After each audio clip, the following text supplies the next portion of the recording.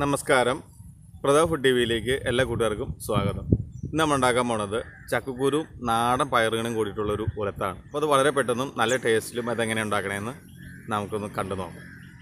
അതിനായിട്ട് ഒരു നൂറ്റമ്പത് ഗ്രാം ചക്കക്കുരു നമ്മളിത് ഇതുപോലെ ചെറുതായിട്ട് കീറി കീറിയെടുത്തിട്ടുണ്ട്. അത് ചട്ടിയിലേക്ക് ചേർത്ത് കൊടുക്കാം.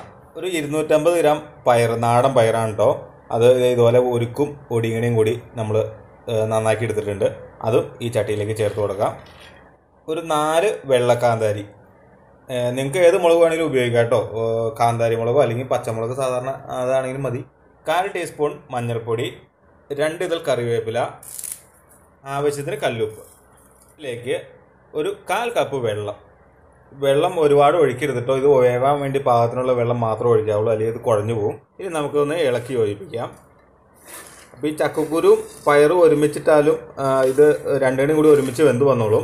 അഥവാ നിങ്ങളുടെ കയ്യിലുള്ള ചക്കക്കുരുവിന് വേവ് കൂടുതലാണെന്നുണ്ടെങ്കിൽ ചക്കക്കുരു ഒരു കാൽ ഭാഗം വേവായി കഴിയുമ്പോൾ അതിനകത്തേക്ക് പയർ ചേർത്താലും മതി. ഇനി നമുക്കിതൊന്ന് അടച്ചു വെച്ച് വേവിക്കാം. നമ്മുടെ പയറും ചക്കക്കുരും ഒക്കെ വെന്ത് വന്ന സമയം കൊണ്ട് നമുക്ക് ഇതൊക്കെ ഒന്ന് ചതച്ചെടുക്കാം.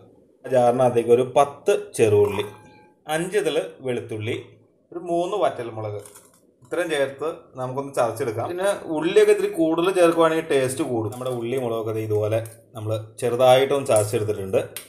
വെന്തോന്ന് നോക്കാം. അപ്പോൾ നമ്മൾ പടപ്പത്ത് വെച്ചിട്ട് ഒരു എട്ട് മിനിറ്റോളം ആയിട്ടുണ്ട് കേട്ടോ അപ്പോഴത്തേക്കും നമ്മുടെ പയറും ചക്കക്കൂരും ഒക്കെ വെന്ത് വന്നിട്ടുണ്ട്.